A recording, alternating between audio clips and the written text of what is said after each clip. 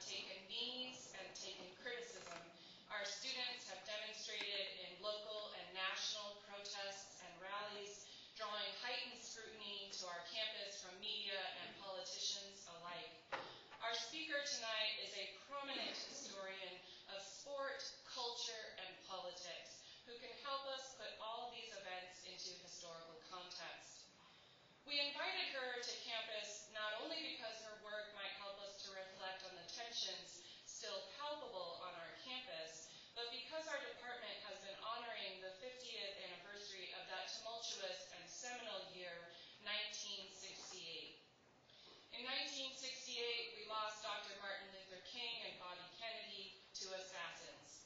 Americans protested the Vietnam War on campuses and Capitol lawns throughout the country, and two black Americans raised a salute from their Olympic podiums in Mexico City. Our department has commemorated the Prague Spring of 1968 earlier this year, honoring the legacy of Czechs who fought against repressive communist regimes before going underground during the period of normalization.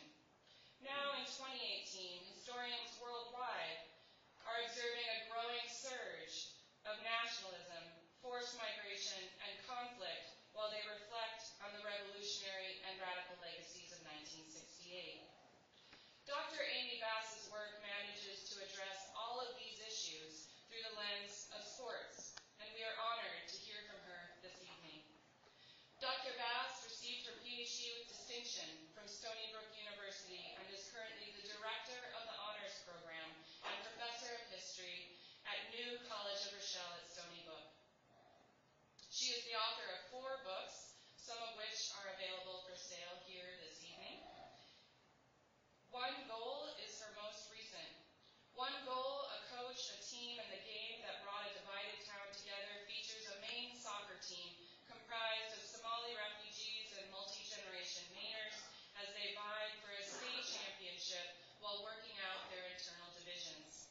She is also author of Not the Triumph but the Struggle, the 1968 Olympics, and the Making of the Black Athlete, focusing on the legacy of the Black Power salute Tommie Smith and John Carlos displayed in Mexico City. In addition to her academic work, she's been on the Today Show, can be heard on NPR, including The Takeaway and Midday, and CBS Radio, and has been featured on the Boston Globe. She's written about sport and politics for Slate, Salon, The All Rounder, and CNN Opinion. She hosts a weekly radio show, Conversations with Amy Bass, on WVOX. In television, she served as Senior Research Supervisor for NBC Olympic Sports across eight Olympic Games, winning her Emmy for her work at the London Olympics in 2012. This is her second time speaking on the UNL campus, and I hope you will join me in welcoming her back to me.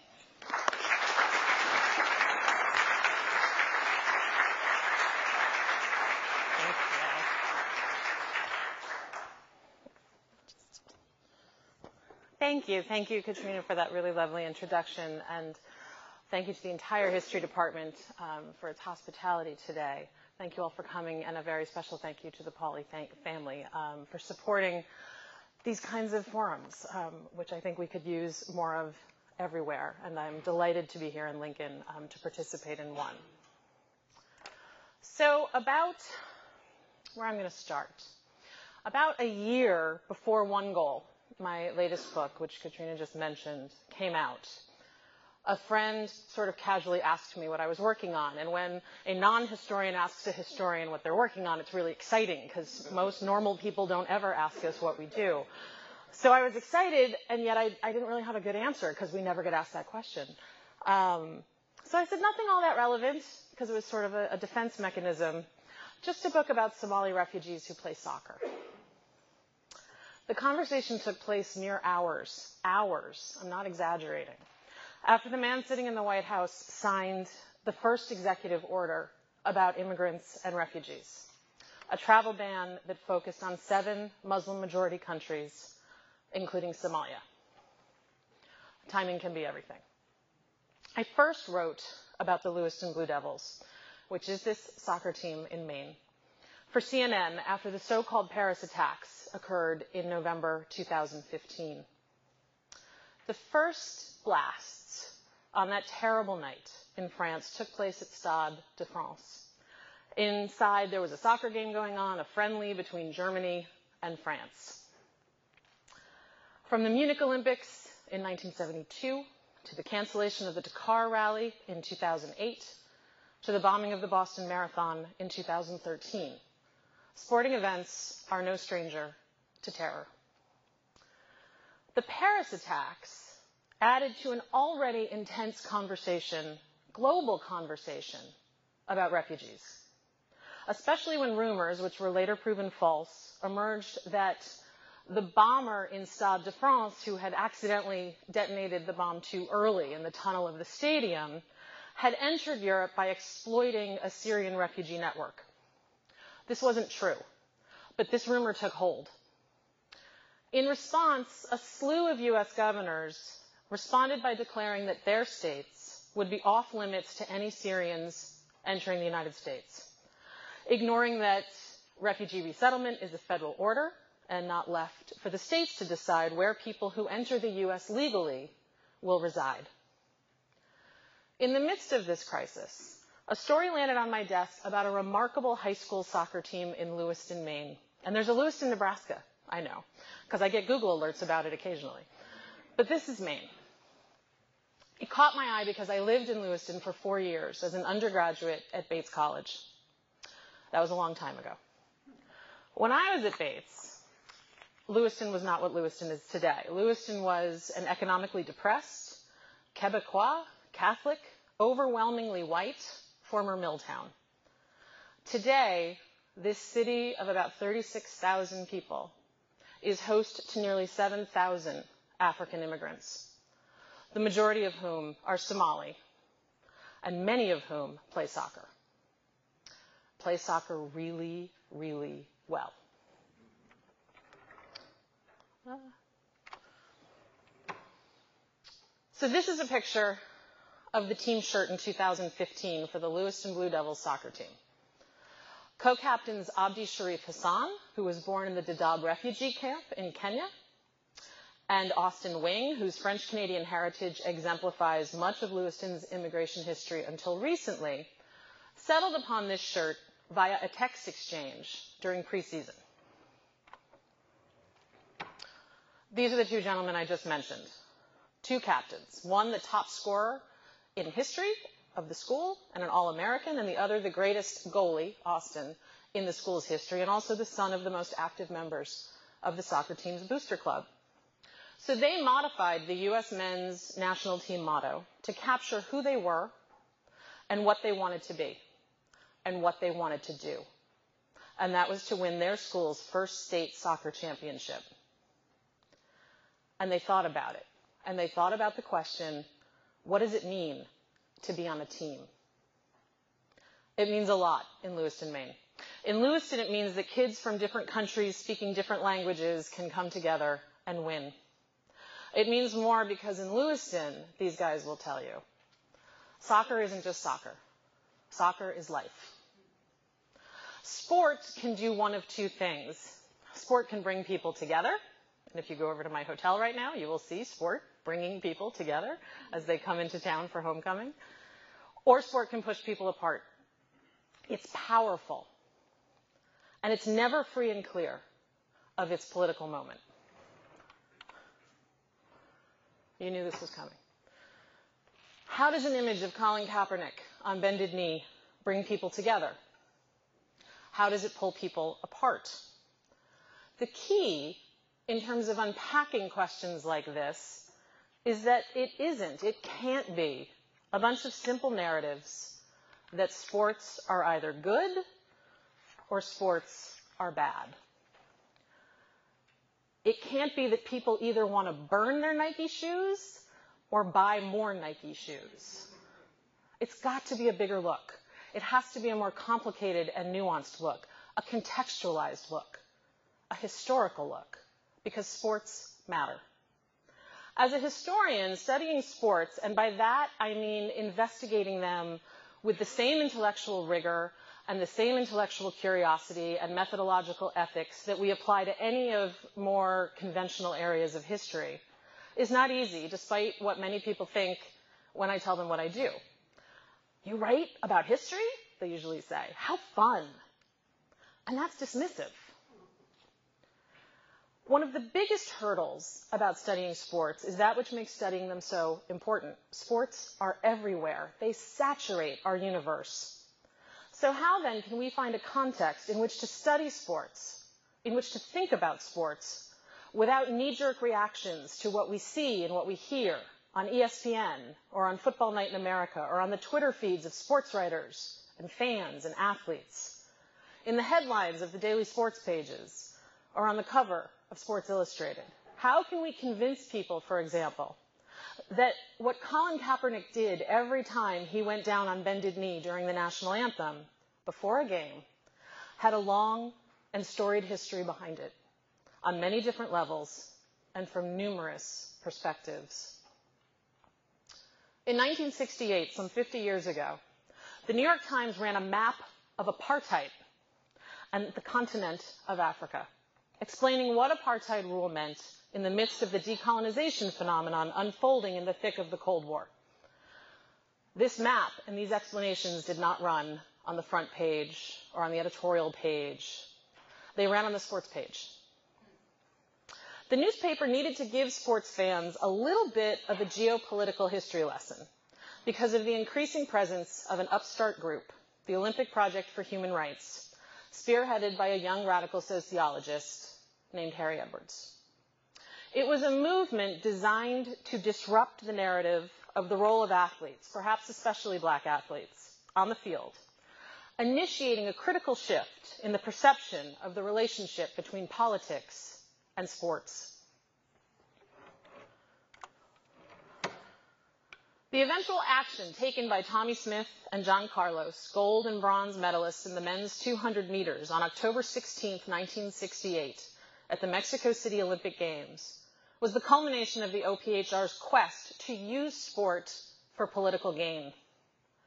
Originally, the Olympic Project for Human Rights had proposed to boycott the Mexico City Olympics using the leverage of the potential medal haul sort of an ultimatum, listen to us or else, that was so important in Cold War America. The medal race between the United States and the Soviet Union was an intense factor of the Cold War. Who could win the most medals? Who had the most sophisticated sports institutions? And so it felt like the future of the nation in many ways was in black hands as statisticians started to figure out how many medals the United States stood to lose if black athletes stayed at home. They gave this ultimatum, the OPHR, to expose the inequities within sport as well as achieve a series of what are now fairly familiar civil rights demands. So they announced the boycott with six demands. Fulfill these six demands or we don't go. The first was the restoration of Muhammad Ali's title. Muhammad Ali lost his championship title when he declared conscientious objector status to Vietnam. So the restoration of his title was number one. Number two, the removal of South Africa from international sporting competition. Number three, the desegregation of the New York Athletic Club, a whites only athletic club that sponsored the largest indoor track meet of the year, which invited all athletes as performers, but didn't allow them to be members. The addition of two black coaches to the Olympic team. The addition of two black members to the International Olympic Committee. And lastly, number six, the removal of Avery Brundage as president of the International Olympic Committee, a man that Harry Edwards declared to be a devout racist and anti-Semite. I love the use of the word devout there. Well, the boycott effort failed to come to fruition, and it's a really interesting thing to think about in terms of the role of the individual within a, within a political movement and the consequences and decisions that have to be considered and weighed. And, and that's something to definitely think about when we're thinking about someone like Colin Kaepernick. Smith and Carlos used their moment once in Mexico City, and it was a rare moment for black men in front of the world during the first major broadcast by an American network of an Olympic Games. ABC broadcast Mexico City in a 44 hour program, which I think NBC issues 44 hours of programming on the first day. Um, there's more there's more Olympic program in a day than there actually are hours in a day. But 44 hours coming from Mexico City was the first time anyone had done this. So this was a platform that had never been seen before. So they used this moment in front of the world to symbolically speak out against racial oppression. And as you look at their image, black gloved fists, bowed heads, bare feet, before an audience that was held captive by the Star Spangled Banner and the American flag. They demanded that people listen to a silent gesture. As headlines around the globe began to focus not on the race that these two had just run, and it was a significant race. Tommie Smith won the gold medal in the 200 meters with a sub 20 time, the first man to go below 20 seconds for 200 meters. They focused less on the race and his world record and more on the statement, which would eventually lead the United States Olympic Committee to revoke their credentials and send them home. But with this moment, a collective political notion of the black athlete had become solidified. These guys, in so many ways, drew Colin Kaepernick and so many others a blueprint. So my work on Smith and Carlos, which resulted in my first book, Not the Triumph but the Struggle, which came out really long ago, 2002, looked to complicate the history of the black athlete in the United States, posing that while sport had been seen as a means of upward mobility for African Americans, it ensured the reinforcement of racialized notions of innate ability as well as social progress. And it created this dangerous battle between myth and reality. I designed my investigation into the Black Power action that took place in Mexico to shake up what I called the holy quartet of black athletes.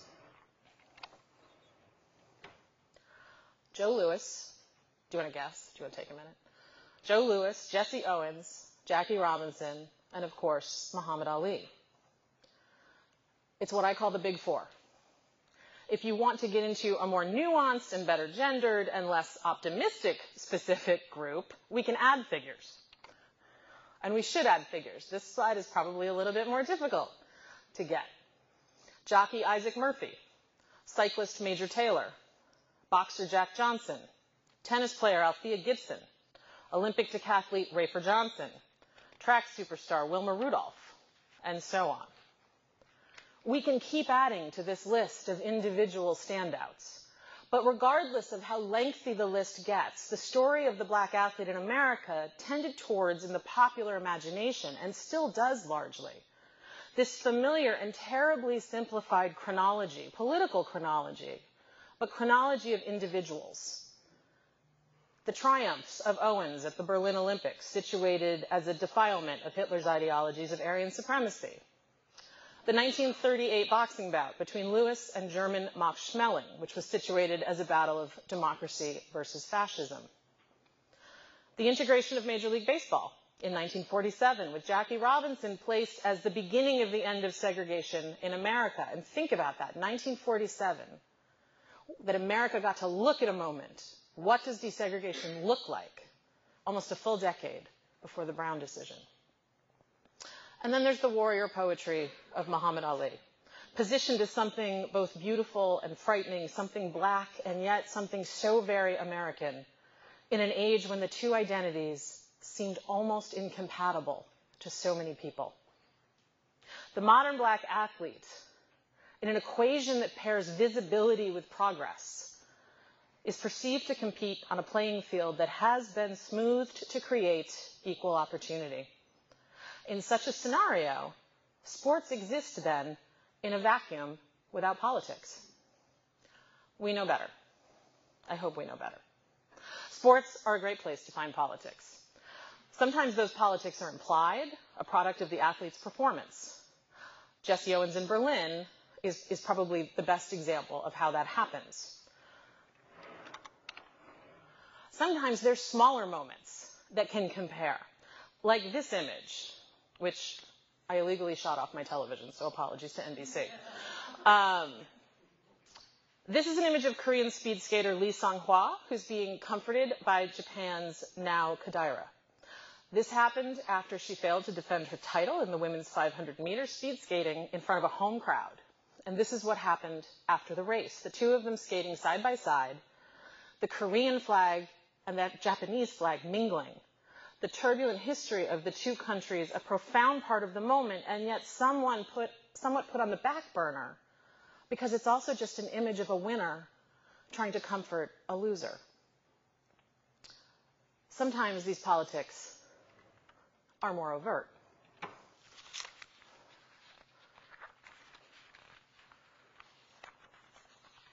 Smith and Carlos took their stance in the midst of a politically tumultuous year. One documented in black and white footage, one that feels deeply and visually embedded in our psyche.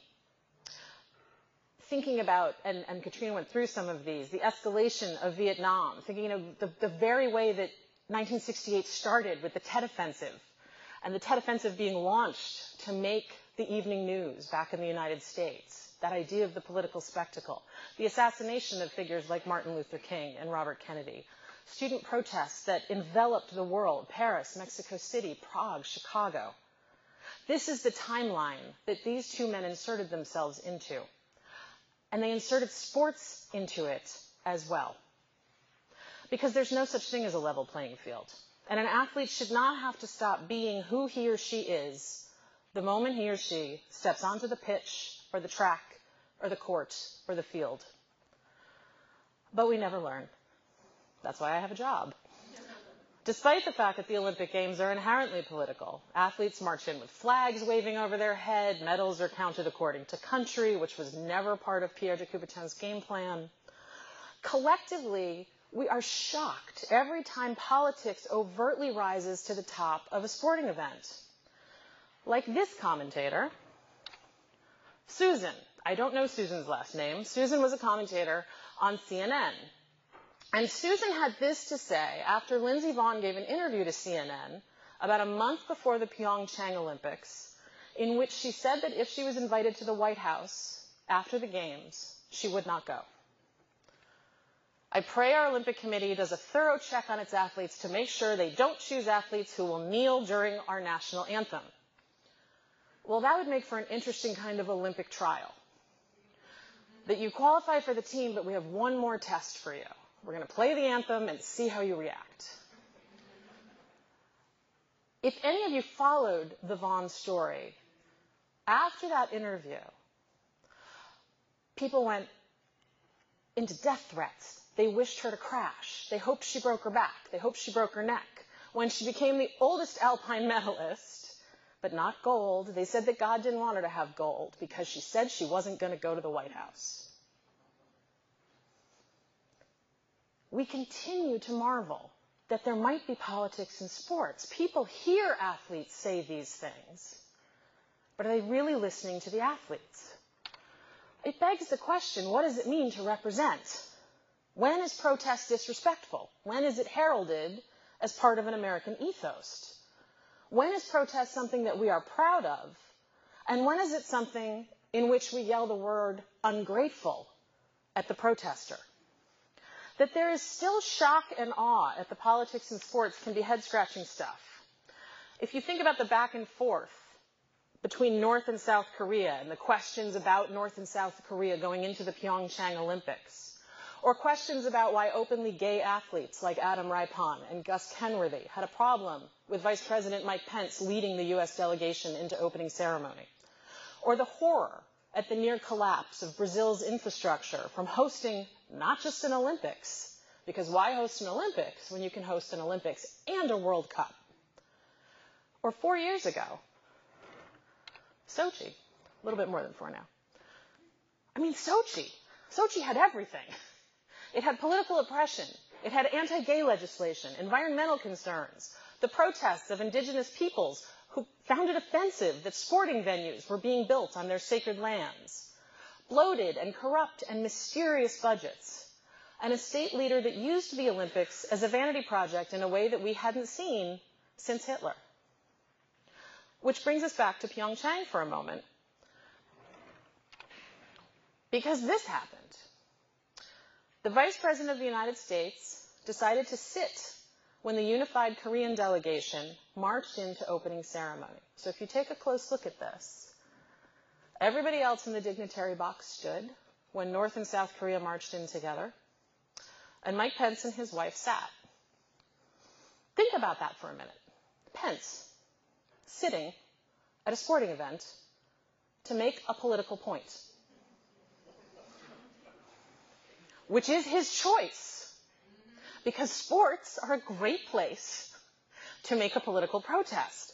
But this is the guy who walked out of a Colts game when players knelt.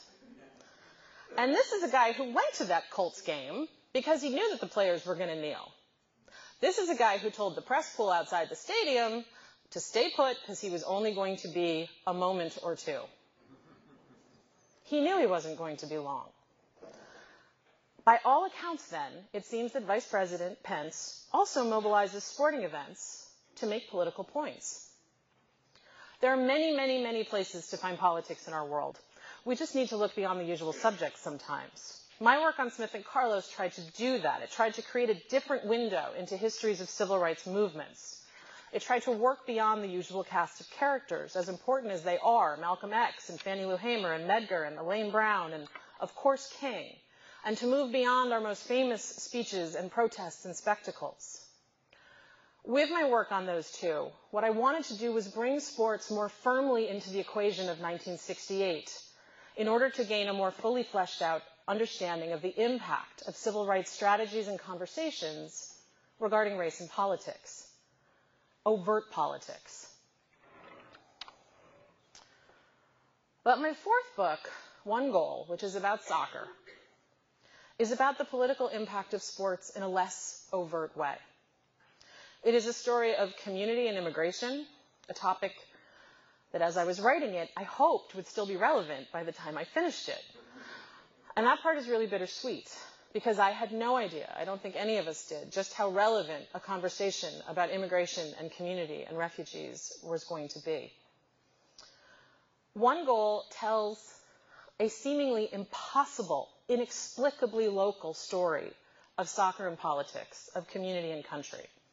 One reviewer said that it was Friday Night Lights for the 21st century, and I think that the most important part of that, with all apologies to football, is 21st century, to think about what America looks like in the 21st century. This is Lewiston, Maine. You knew right away it was not Lewiston, Nebraska.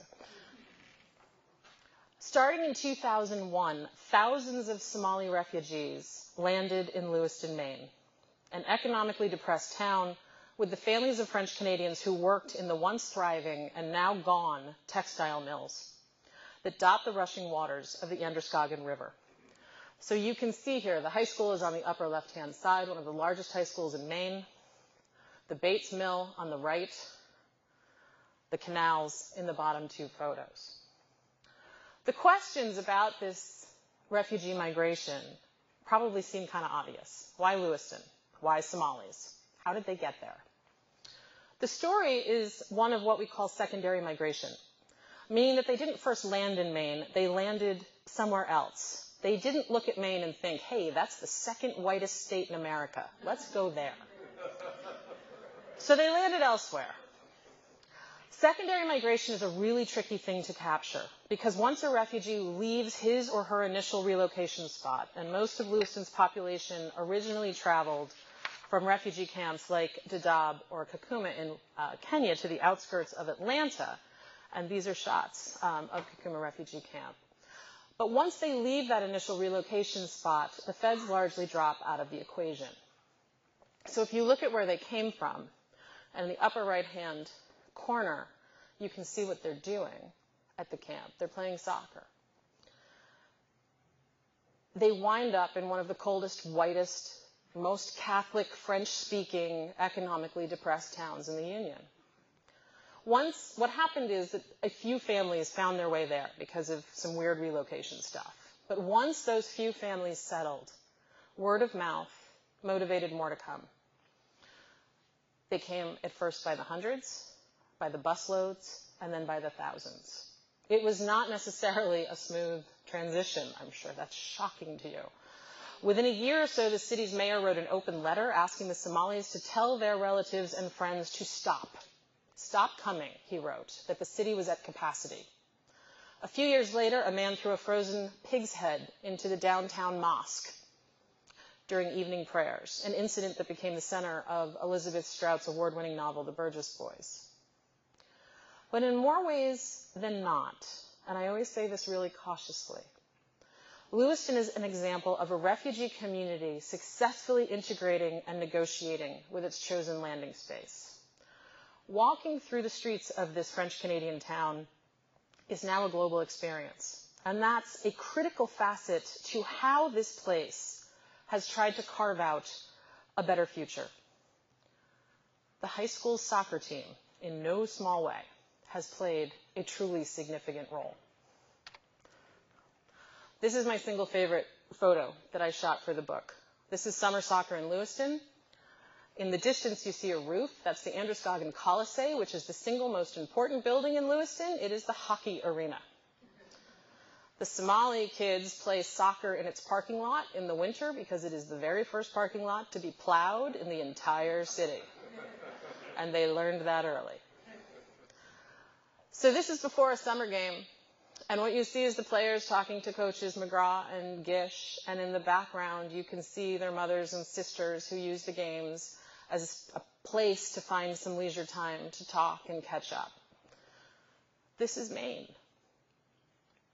In the fall of 2015, the Lewiston Blue Devils had a historic, nationally ranked, undefeated season, putting up the most ungodly numbers and statistics of any team I've ever looked at. Well, they, when they landed in the state championship game the year previously, 2014, the number one seed, they lost to upstart Cheverus High School, the number seven seed. It was one of those games where the day after no one talked about who won the game. They talked about Lewiston losing the game. But in 2015, they were a veritable dream team. On their road to that state final, they outscored opponents 113 to 7. Soccer is not a low scoring game in Maine. I know that's one of the big complaints of soccer. And in fact, they beat Messalonskee two nights ago 11 to 1. Double digits. Lewiston is even more remarkable 113 to 7 when you think that this is a really sportsmanship minded team that tries to keep the scores down so that they don't humiliate their opponents. So these are the records that they put up, putting in their second string, their third string. Once they're up by five, all starters sit down. At the 2015 state championship game, which took place at Portland's Fitzpatrick Stadium, over 4,500 people filled the bleachers the most ever at a soccer game in state history. Take a look at that crowd for a minute. This is Maine. So one goal is very much about that season. It's about the art of soccer that these young men play and the support network that the community built around them. It is about why sport matters, about where it fits into the threads of our daily lives and, and what we can learn from it. Soccer is a microcosm of Lewiston's transition from former factory town to global host. It's not a hoop dream story where kids are using sports to escape something, because these kids aren't trying to escape. That part already happened in their lives. Soccer, rather, as I write in the introduction of the book, is how these kids live where they landed. The story of the Lewiston Blue Devils is not one of overt politics in the way that Smith and Carlos was, or the way that taking a knee before a football game during the national anthem is. This team, rather, says their coach, plants seeds for their community to grow. And the coach, the players say, don't care where they're from as long as they pass the ball. In one goal, listening to athletes isn't necessarily about paying attention to their explicit politics. It isn't about asking why they do or don't want to go to the White House to celebrate a victory, or why they might raise a black gloved fist into the air or take a knee during the national anthem. It is about actually listening. As the varsity roster for the Lewiston Blue Devils began to change, Coach Mike McGraw, who'd been in the driver's seat for decades, when he makes it to that state championship game, he was in his fourth decade of coaching, Lewiston born and bred but he had to listen. This isn't necessarily an easy task for a head coach, and anyone who knows a coach knows that listening is not always their strong points. Especially a coach who is so firmly entrenched in a team's history and in a school's history and in a city's heart and a city's culture. This is Mike McGraw, who texted me about 30 minutes ago because the freshmen beat Brunswick 7 to 1. One of the things I've learned, he said to me, is to do less talking, which is really hard for me. You have to do a Maine accent. I can't do a Maine accent. McGraw had to listen to his players when they showed up late for practice because they had to accompany a parent to a doctor's appointment and serve as a translator. He had to listen to his players on hot days during Ramadan when running laps was simply impossible. He had to listen to his assistant coach, Dan Gish, about how the talents and skills of the new players necessitated a change in strategy from a direct game, what we would call kick and chase soccer, kick the ball as far as you can, everybody run and kick it again, to a possession style of soccer, which is fast moving and patient, unselfish and beautiful. And he had to listen to this guy, Abdi Jabbar Hirsi, who he hired as an assistant coach in what was a really key turning point in how McGraw listened to his team. Abdi Jabbar, who's on the left, he's standing next to Maulid Abdow, who's a central character in the book. He's the master of the front handspring flip throw-in, and if you don't know what that is, read the book. Um, Hirsi is the son of Abdullahi Abdi, and Abdullahi Abdi is the eighth grade coach. He's the middle school coach. But he is really, as one community leader said to me, the coach of everyone. He is a constant sideline presence for the Blue Devils. He is someone who works with every player before they hit the varsity roster. And he, he really, he coaches so many different community teams that I couldn't tell you how many there are. His son, Abdi Jabbar, played for McGraw, like most of his brothers did and still do. Bilal Hirsi is the top scorer for the Blue Devils right now. And in 2014, Abdi Jabbar Hirsi became the first Somali coach hired by the Lewiston, Lewiston School District. I'm going to read a very short passage about how that came to be. Hirsi says, I always wanted to get into coaching. He shrugs, smiling before saying the obvious. My dad is a coach. Several people applied for the job, but when Hirsi walked into the interview, Fuller, who's the athletic director, knew he was the right person at the right time. Hirsi, too, could feel it as he answered a barrage of questions from Fuller and McGraw. I already knew, Hirsi says Fuller later told him. As soon as I saw your name, I was happy. McGraw was excited to add Hirsi to the coaching staff, and not just because he finally had someone who could shout directives in Somali, something he knew would be a strategic advantage, keeping other teams in the dark. He had spent years wrapping his head around the changes taking place on his roster and in his classroom. He'd buried himself in books and attended coaching conferences and clinics. But most of all, he listened to the people around him, knowing he needed them if he was going to win a championship with these players. I needed to take who their mentors were, like Abdullahi Abdi and Abdi Jabbar, all of those leaders in the community who coached them, he says. I embraced them and listened to them and I listened to the players because I wanted, I needed to understand. Fuller views McGraw's relationship with Coach Abdullahi and the hiring of Hirsi as further evidence of how much McGraw changed to accommodate his evolving roster. He became a better, more inclusive coach and developed a deeper level of trust with his faster, experienced players. He was the first coach in our department, says Fuller, to say, if I'm going to be good and I'm going to relate to these kids, I've got to go into the community. So Hirsi brought a lot to the table, right? He created a solid link between community coaches like his dad and the school's coaches. And he also brought, again, this strategic advantage because directives inside lines could be communicated in Somali or Arabic to the field. And that is a huge advantage in Maine to be yelling your strategies out in Somali. So reaching into the community, listening to the community, whether they be mentors or players or assistant coaches, by listening to needs and wants and suggestions, it helped forge a path for this community to lay the foundations to figure things out. So on the one hand, this is heartwarming and thrilling and uplifting, but in so many ways, the story of One Goal is also a sobering tale. Because McGraw might not care where his players are from as long as they pass the ball. But the United States does care. As of January 2018, the International Rescue Committee's evaluation of the current administration's travel bans includes shocking stats that Muslim refugees entering the United States has plunged 94%. The United States, which was once this beacon, this global leader in offering the most desperate people of the world refuge, is pretty much closed for business. But this soccer team in Maine and the community that surrounds it shows a way forward, a way in.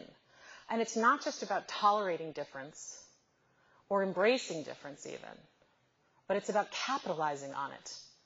Just as Jackie Robinson, again, showed America what integration looked like so many years before the Brown decision, this team re- represents a coming together in a community that's had a lot of pushing apart.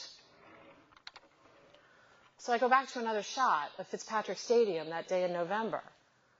And this again, if you take in, this is Maine. Coming together doesn't always mean staying together. There's an ebb and a flow to change, steps forward, steps back. And, and let's think about the 4,500 people watching that game. There were more people at the state championship soccer game that year than were at the football championship two weeks later in Maine. That's a really big deal. More people at a soccer game than a football game. Imagine that happening in Nebraska. Okay.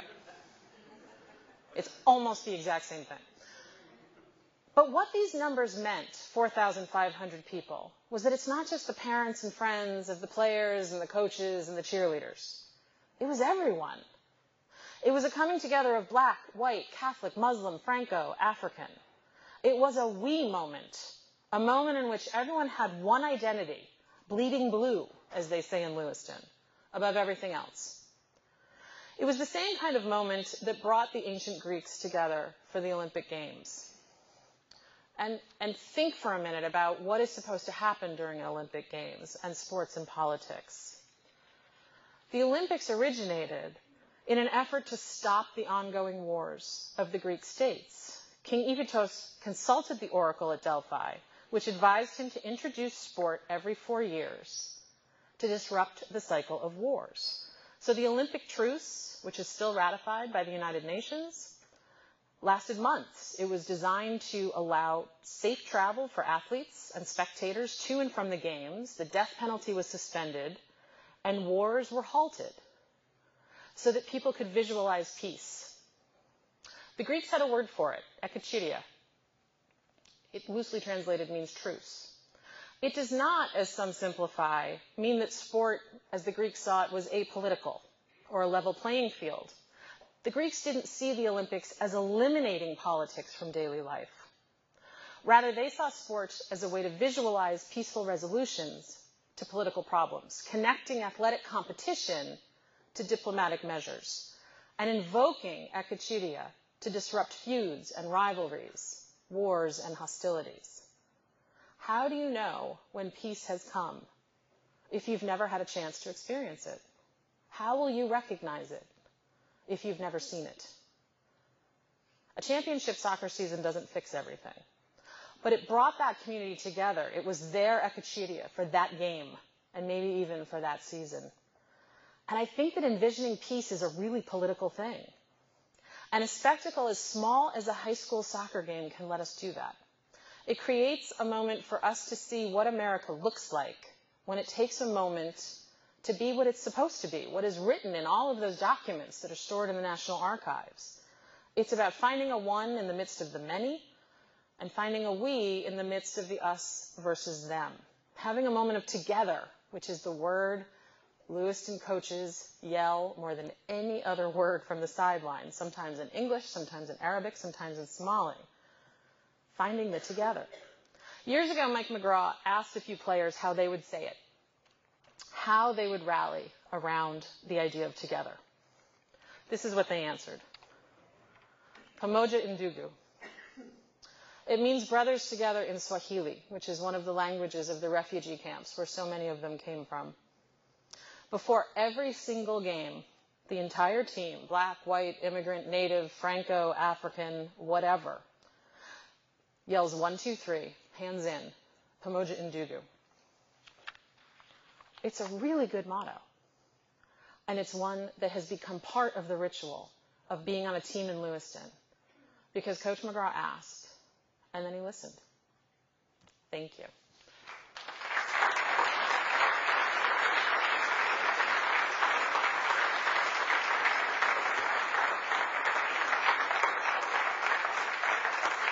Are you doing questions? So we do have time for questions, and I'm happy to come into the audience to broadcast any of your questions since we don't have a second mic. I can repeat too. That's good.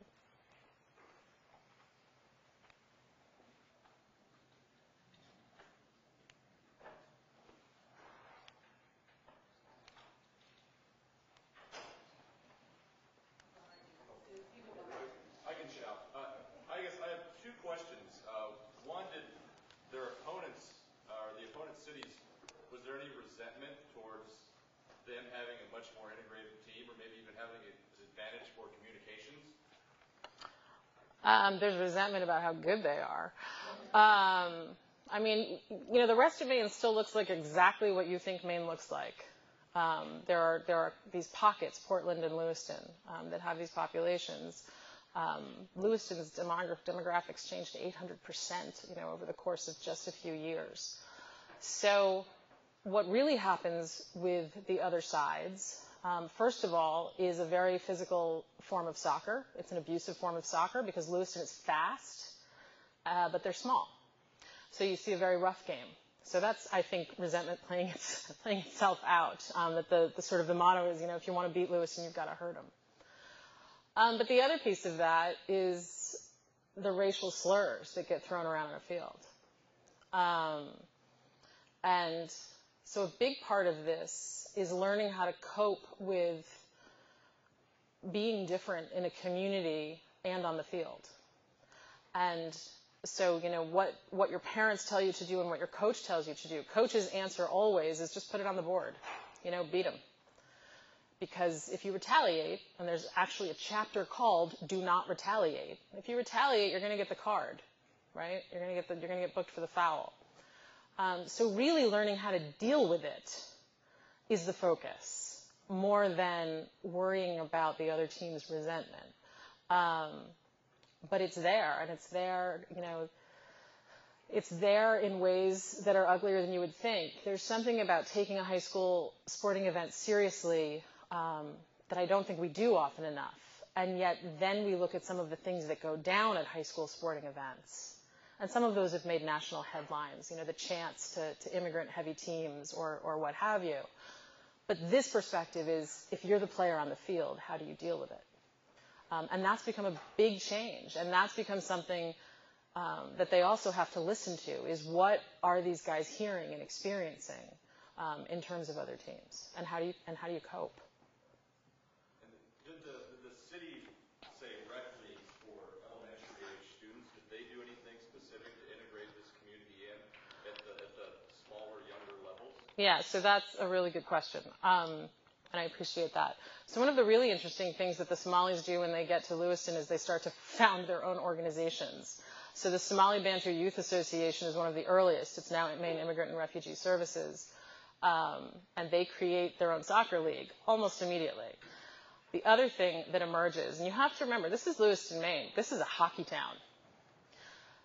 They've run out of green space for soccer at this point. Everywhere you look, there's a kid with a soccer ball. So there's youth leagues. There's Lewiston Auburn Youth League, which has always been the youth league. Then there's the Somali Bantu Youth League. And then there's Abdullahi's various leagues because there's Somali tournaments all over this country, in Ohio and Kentucky and what have you that they travel to. There is an elite pay-to-play team in New England, Seacoast United, which eventually some very good community-minded folks figure out a way for these guys to get onto. Um, so there's soccer everywhere, but the single most important game happens down by the river every night as the sun's going down, and that's the pickup game. That's street soccer. And those are teams of 40, 45 guys to, to a side, all ages, and it's the damnedest thing I've ever seen.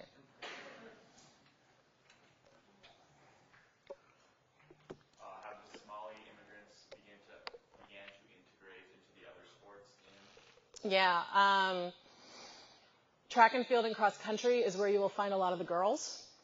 Um, volleyball to a degree, softball, and girls are starting to play soccer. Um, folks, a, a, big question I always get is, do the girls play soccer? In Somalia, soccer is not a girls' sport. Just sort of like field hockey isn't really a men's sport in the United States. So we have those sort of cultural tendencies.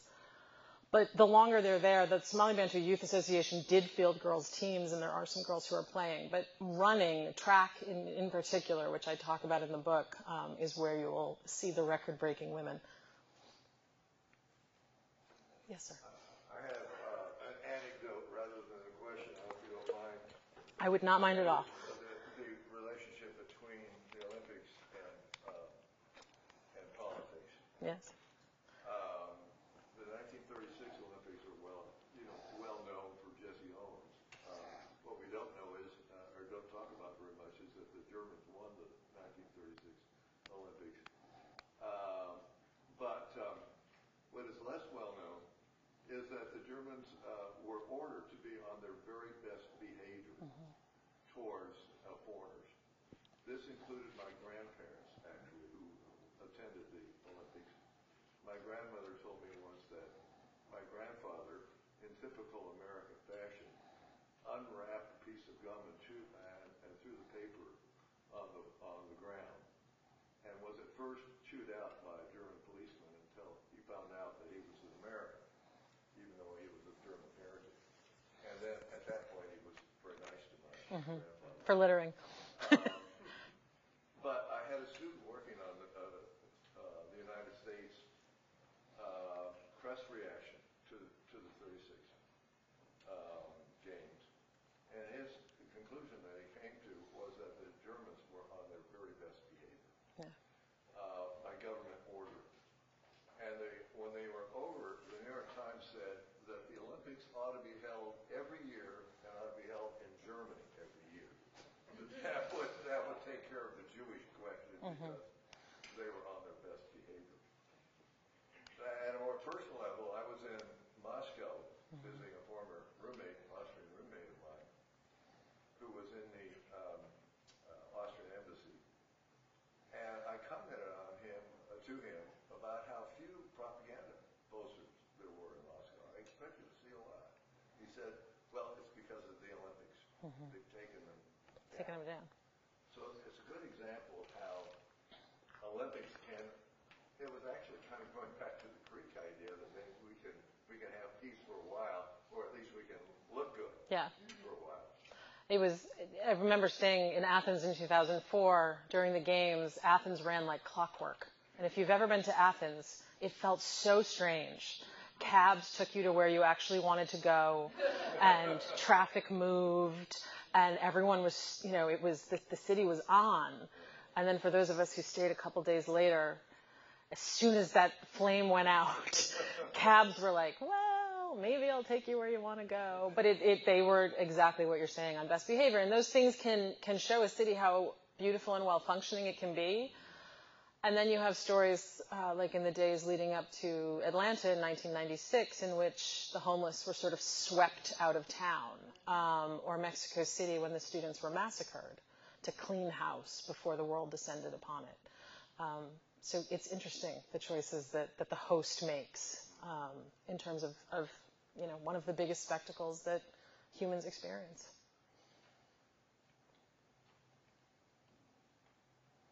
Other questions or comments? Dr. Bazansky? Um, I, one of the interesting things, uh, are, are you, you're telling a local story, but it has a lot of na- national significance, right? It, it, it talks about the human community. Um, the other part to me is actually soccer. Um, that, that, uh, having grown up in Germany where soccer is huge, but coming to the States where, like, in the, in the 80s, barely anybody knew anything about soccer. Right. I think an interesting part of that story is how, how, how, how much more relevant soccer has become in our society. Maybe also related to, to kind of how many immigrants have come, come out of that. I mean, have you have kind of a comment on that? Yeah, no, absolutely. I mean, soccer. It's interesting because there was always there were always a couple of reactions that I had um, when people would say, "Okay, the United States is terrible at soccer." First of all, well, yeah, the men, for a long time. but, you know, can we be a little bit more specific about the United States is terrible at soccer because the U.S. women's national team has been one of the longest running dominant sports teams the world has ever seen um, and really sort of invented the way. Um, so that's the first thing, right? Americans are terrible at soccer. Well, not, not all Americans. Um, this last World Cup, we'll just sort of pretend it didn't happen. Um, and, and even sort of thinking about how some people still ask, well, how are the Americans doing? And it's like, they're not there, right? And, and sort of having this, it was good for the United States to, you know, you don't get to participate. Um, you have to qualify. The second part of that, I think, is that no one in America plays soccer, and that, of course, ignores what every Saturday and Sunday in, in so many communities look like. Lewiston was not one of those communities. Lewiston was a hockey town. And hockey's an expensive sport. Lewiston is a, as a working class to, to poor community, the poorest neighborhoods in Maine are in Lewiston, Maine. Um, this is really a, a town, and I spend a lot of time talking about what happens because this is a very typical New England mill town story when the mills move, what happens to what's left behind? You know, Lowell, Massachusetts turned itself into a national park. That worked. Um, there's lots of other towns that didn't have that. So, so soccer was, and I think that this is part of the reaction to soccer. Soccer is often posed against football, American football, which, you know, would also be a low scoring game if each goal didn't count for seven points. Um, but I think that, that so, so there was always that back and forth, and it was considered an immigrant game or a foreign game. Um, so that fit.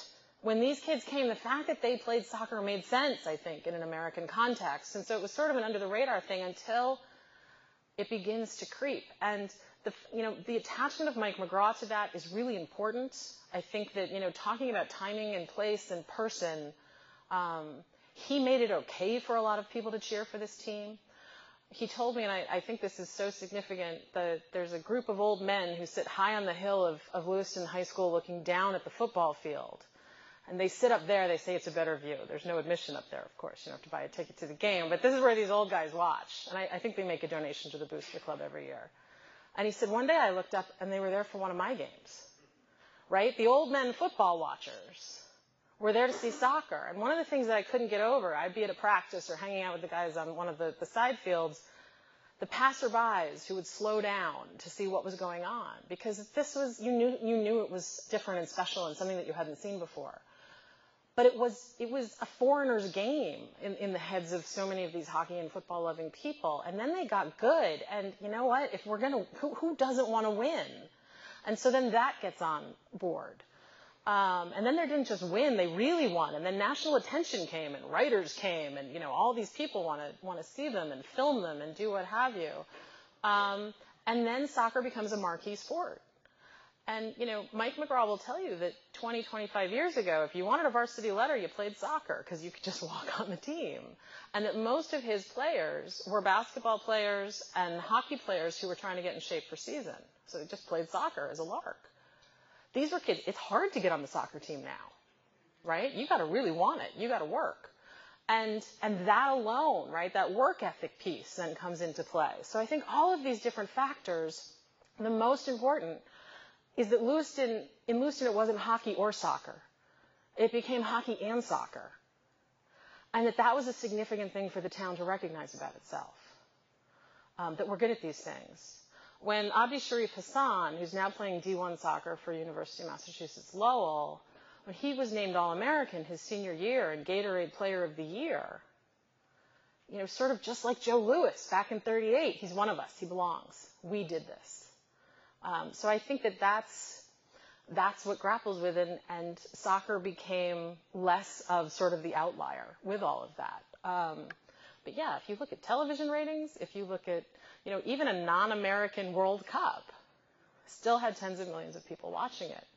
Um, you know, you look at the numbers for the women's final, uh, at which, you know, we'll get to see that again next year. Um, yeah, there's interest. There's real interest. And now we finally have networks who have figured out how to commercially broadcast a soccer game without commercial breaks, which was really driving networks crazy. We can't televise this. They don't stop, right? they figured it out. Yeah. What are the conversations that you hear around the travel ban in a place like Lewiston? Um, so here's the most heartbreaking page of the book. Androscoggin County voted Republican for the first time in 30 years in 2016. Um, Maine is a striped state. You guys are familiar with that. It doesn't go blue or red. Um, and that is absolutely has to do with the change in the demographics of the city. So what, where you end, and this is what I mean about, you know, there's fractures and then there's coming togethers. And you hope that the next fracture isn't quite as intense as the last fracture, that, that the coming together is a little bit more profound than the last one. It's a work in progress. So there's a lot of support for the travel ban. And there's also a lot of separation where some of the most ardent supporters of this team are the most anti-refugee, anti-immigrant. You know, you're okay, but not them. And this story is an excellent way to get into the heads of how that exists, right? It isn't, it's not hypocrisy. You can't call it that because they, it, those two things very rationally live within a whole lot of people. And understanding that and putting it into a historical and political context, I think, is vitally important.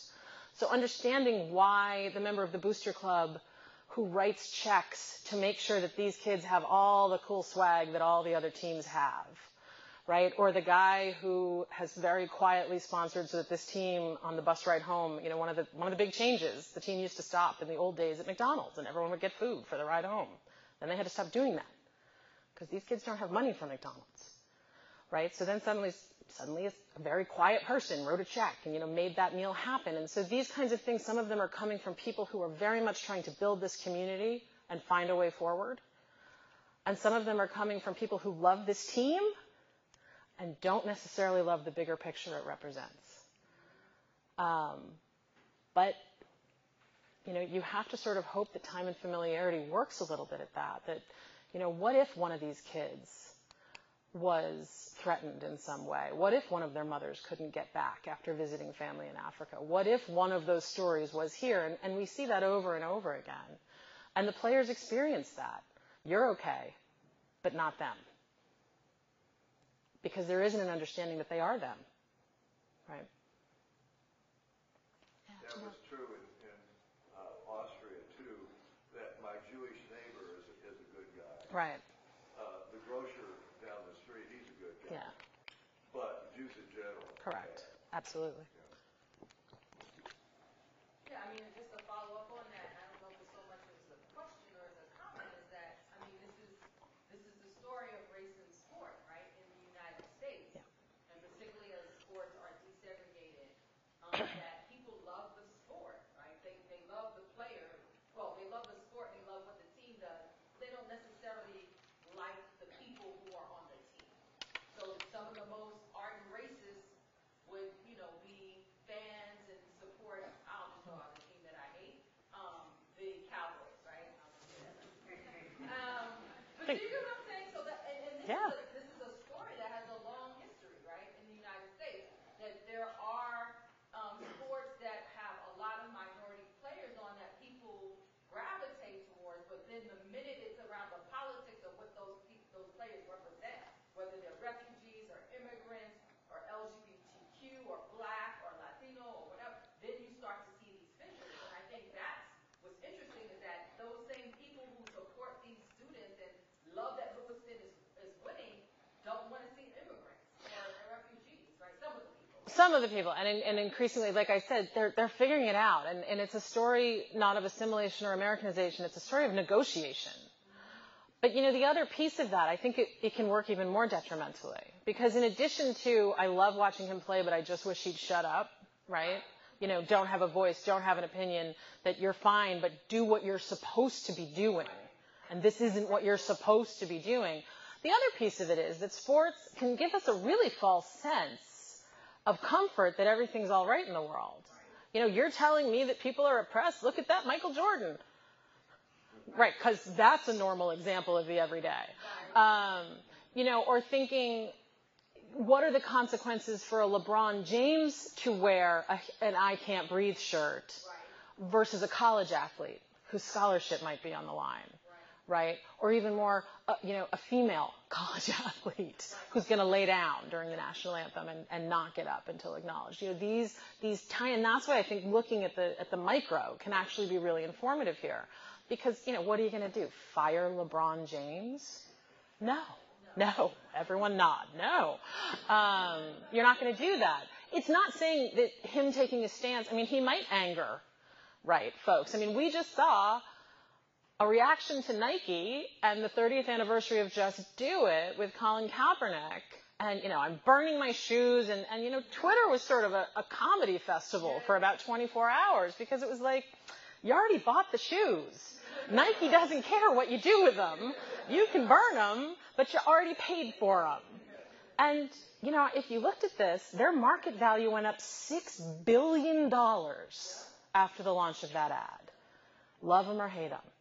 You know, who's the winner at the end of that? Kap got paid, Nike got paid, and these guys don't have sneakers anymore.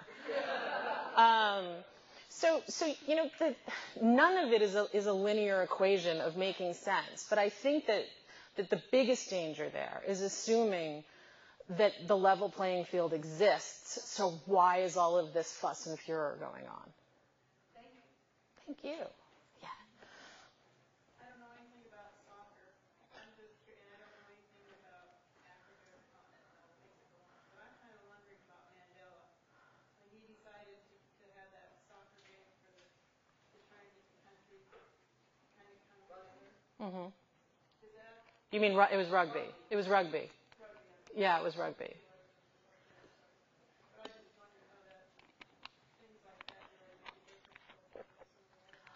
You know, I mean, that's where you have to, you know, did a, did a 90 minute state championship soccer game make a difference?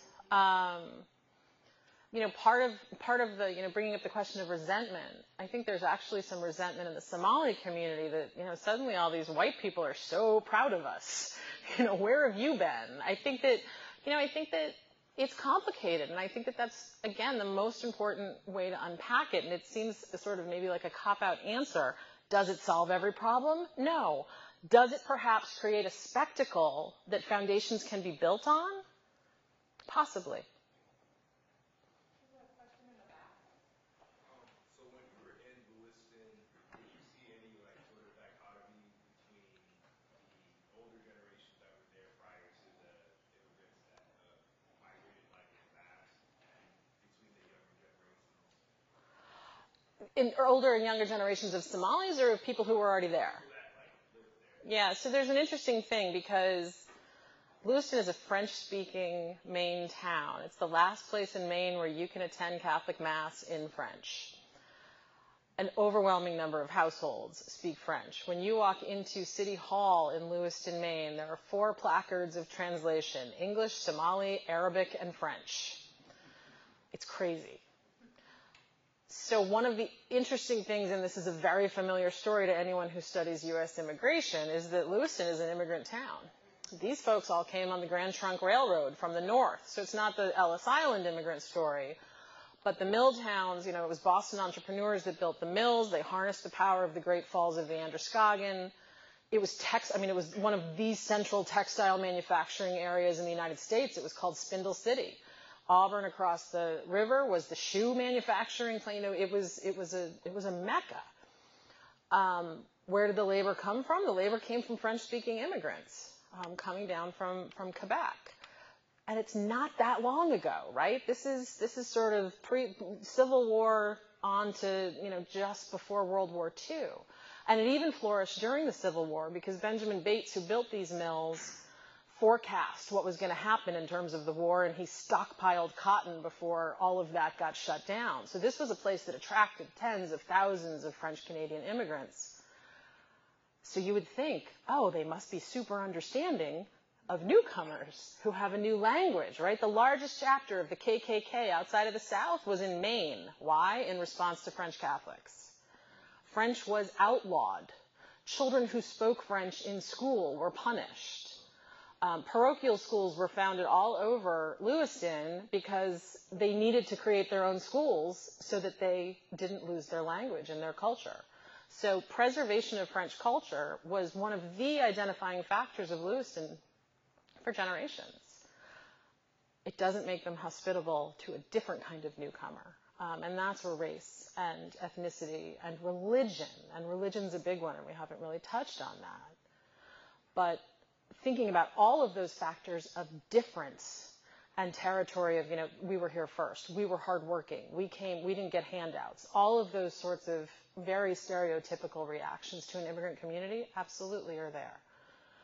But the kids, you know, talking, getting to your question about generation, the schools are at the forefront of this. And we, and that's also a common part of immigration history, right? That, that school and workplace are, are where contact happens, where Americanization happens, where learning how to speak English happens. But Lewiston High School is an interesting high school. 25% of Lewiston High School is now African. 25% of Lewiston High School. But 75% of Lewiston High School is on free or reduced breakfast and lunch programs. So Lewiston's biggest problem is white intergenerational poverty and opiate addiction and those things, right? Not immigration. Immigration is turning numbers around that Lewiston needs to have turned around. So you have, it isn't really as much of a generational thing as a who sees this as a way forward and who, who is entrenched in the past. Because Lewis, there's so many in Lewiston who think its best days are in the rearview mirror. And that's something that, that needs to be turned around. I'll take one last question. coming up on the 50th anniversary of the of Mexico City Yeah. Games, and and certainly your your seminal work. Well, uh, My question is maybe twofold. One, what was one of the interesting realities that you discovered, or or maybe uh, a follow-up today? Uh, What was one of the unanswered questions that you always were curious about, learning more about, that you weren't able to find during the research on that? And what is maybe w- was one of the most obvious myths that you think was perpetuated about Sure. I think the most perpetuated myth is that their medals were taken away from them. Um, I, people argue with me about that a lot. Yes, they were. No, they weren't. Tommie has his medal. Um, in terms of myths, I wish I'd spent more time on Peter Norman. Um, Peter Norman is the third man in the famous photo, the white guy. Um, he's the Australian uh, who just kicked out Carlos for the silver and he wore an OPHR badge, um, and he was really crucified in Australia when he went home for doing that. He had asked the guys beforehand. He said, you know, I'm not going to do this, but he asked for an OPHR badge as an ally, sort of before we even had, you know, we didn't talk about allies um, then. But this was a, you know, this was a sprinter from Australia who wore the badge, and I wish I had spent more time focusing on Peter. Um, Tommie and John were both pallbearers at, at Peter's funeral. Um, it was a, it was an interesting connection. It was one of those sort of Jesse Owens and Lutz Long connections that is, you know, you pass in the night very quickly in this really critical moment.